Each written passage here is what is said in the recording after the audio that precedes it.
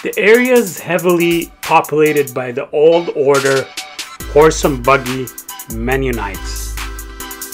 And those black garb traditionalists frequently guide their horse drawn wagons or buggies through what is Ontario's last covered bridge.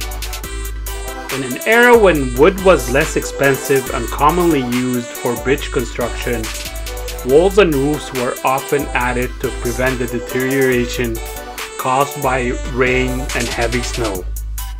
Despite the utility and popularity of the style in eastern Canada, Ontario's British Army road builders steered clear of it. And fewer than a dozen such bridges were built in the province. Built in 1881 by a Mennonite barn builder named John Bayer, it remained the Grand River's only crossing in the area until 1960, when a new concrete structure was completed less than a kilometer away. To allow continued use of historic structures, truss reinforcements have been added to the inside, the roof has been reshingled and the substructure replaced.